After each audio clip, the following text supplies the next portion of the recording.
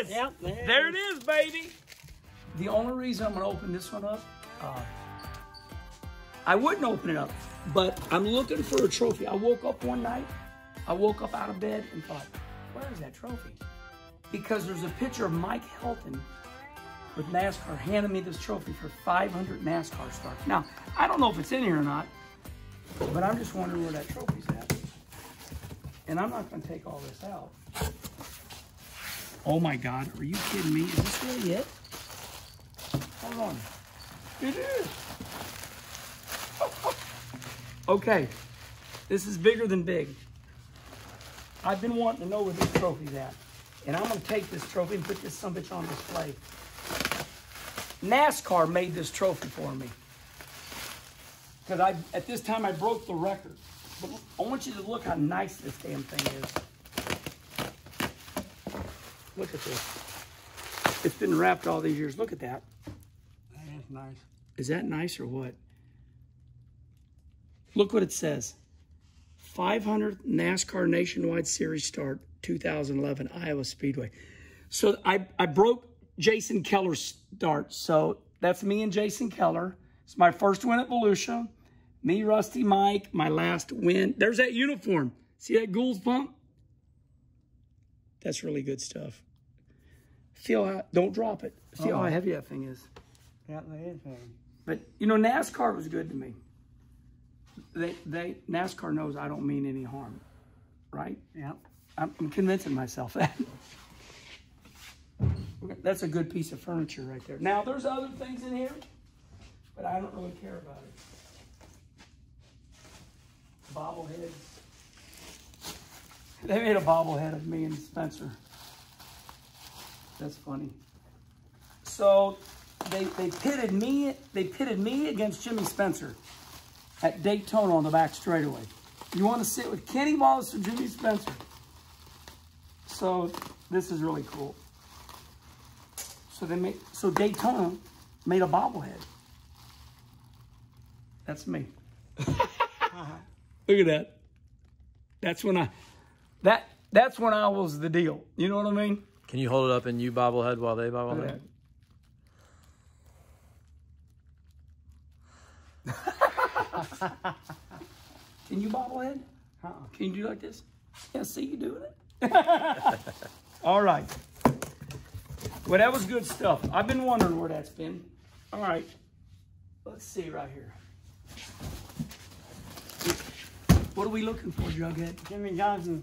Yep. Jimmie Johnson. See if we can find him. There it is. Yep, there there it is, baby. Listen to this. One of the most prized possession helmets, and I got it sticking in there with my dirt helmet. Oh my God. Four times. So,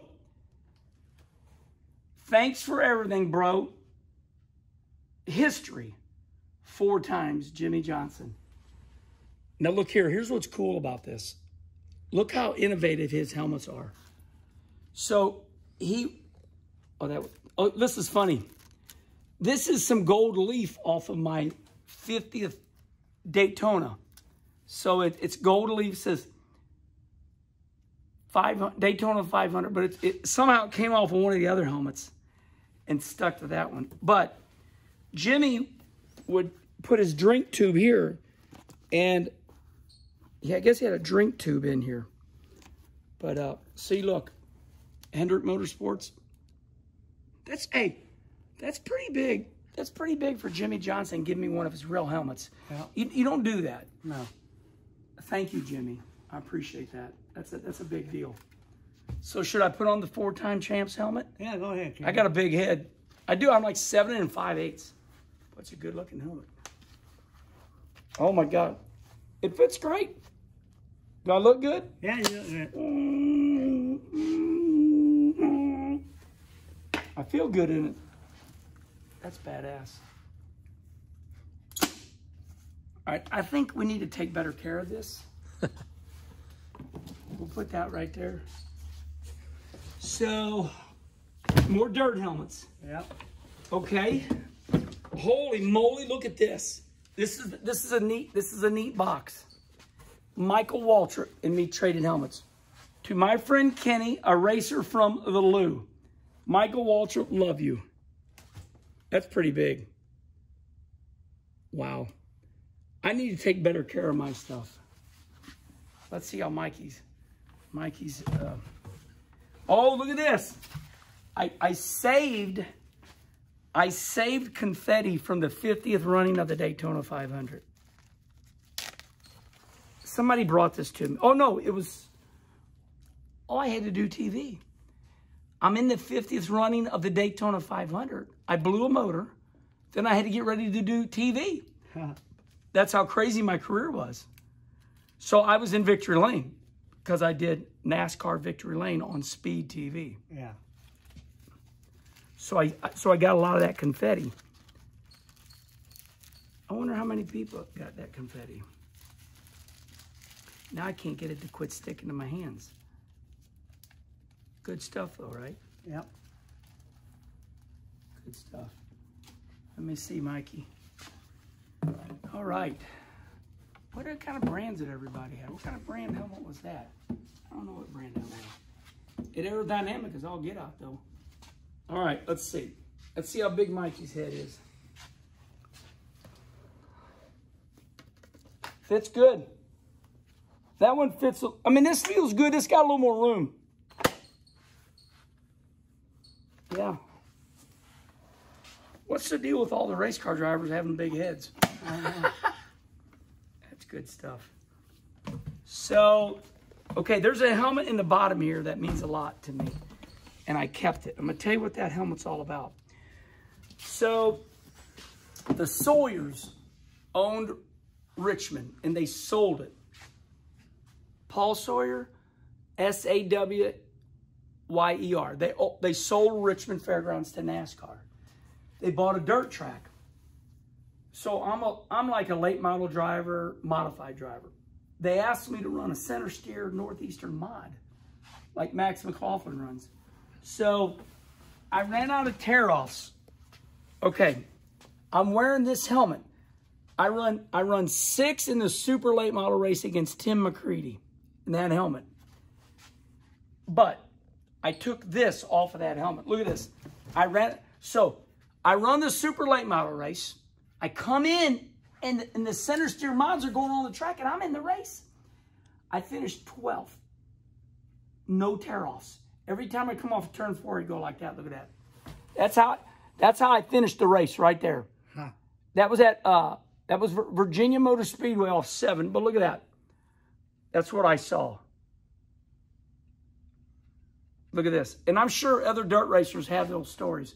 I say that damn thing because I saw it was so badass. But that's, so there's a couple things I'm going to keep. I'm going to keep this. I'm going to keep those two helmets. Kim's going to go, what in the world have you been doing up there? Nice Cardinal helmet. Good helmets. Well, we found the Holy Grail. We can keep opening up more boxes, but we're exhausted. I think it's like four o'clock and I need a coffee. Why are you stand? Are you in trouble? No, I always stand Stay- like that. Well, what are you going to do?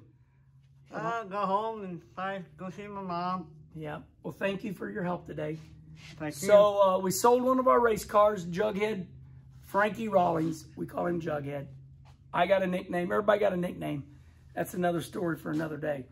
But he came up, peeled all the decals off the car. We, we had a full day. yeah. Oh, yeah. Well, I hope you enjoyed this. Um, it brought back a lot of memories for me.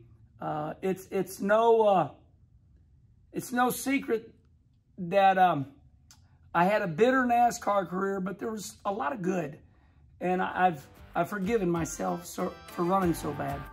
But I made a lot of friends, and I did run. You know, nine Xfinity wins, ten poles. It's funny when I look when I look back, it was all right. Yeah. And you had a good career, Kitty. Yeah. Thank you, buddy. You make me feel better. All right.